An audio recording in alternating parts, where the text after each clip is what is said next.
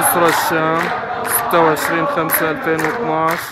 مظاهرة بعد صلاة الفجر تنديدا بالمجزرة التي ارتكبها النظام المجرم بحق أهلنا في الحولة